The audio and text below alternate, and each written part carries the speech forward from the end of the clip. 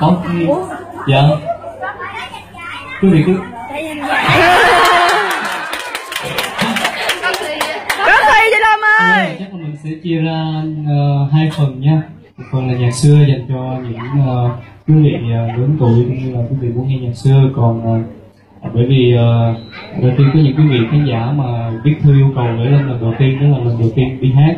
Lâm ơi sao không hát những bài của Lâm mà đi hát những bài uh, nhạc uh, không phải của mình thì Lâm muốn chia sẻ là uh, khi mà đi hát phòng trà và những uh, mình quen như vậy rồi và mình uh, những cái bài hát đó uh, được quý vị yêu cầu và từ ngày đầu từ ngày đầu tiên mà Lâm đi hát phòng trà là hát nhạc xưa.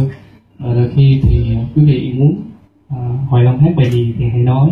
Vì có những quý vị khán giả mới đi xem Hoài Lâm lần đầu tiên cho nên là uh, cũng có những cái không thể yêu cầu được thì có gì cứ viết lên yêu cầu và Lâm sẽ hát gửi tặng quý vị. và bây giờ sẽ hát nhạc xưa trước nha. Bây giờ ừ.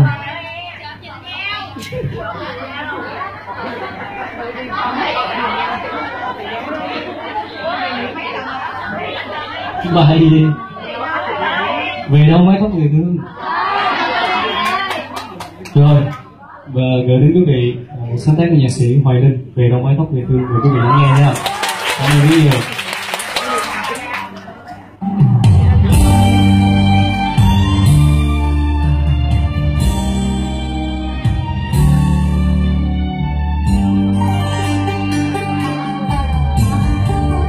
hồn lỡ xa vào đôi mắt chiều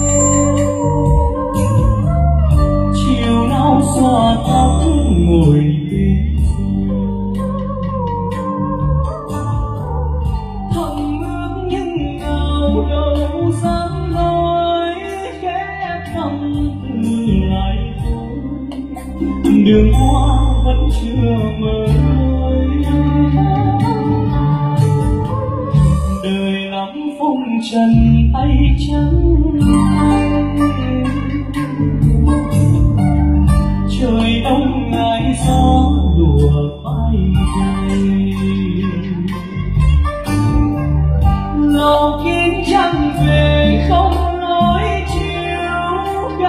cao ngăn niềm yêu thì thôi mơ ước chi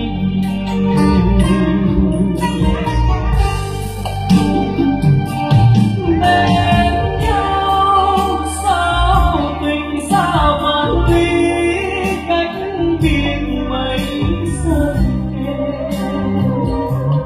ngày đi, mắt em xanh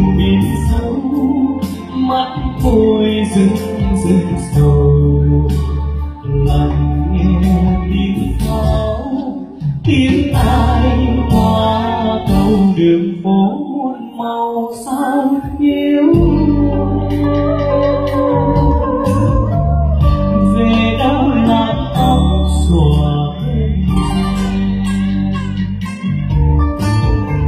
lâu vẫn không người sông khẽ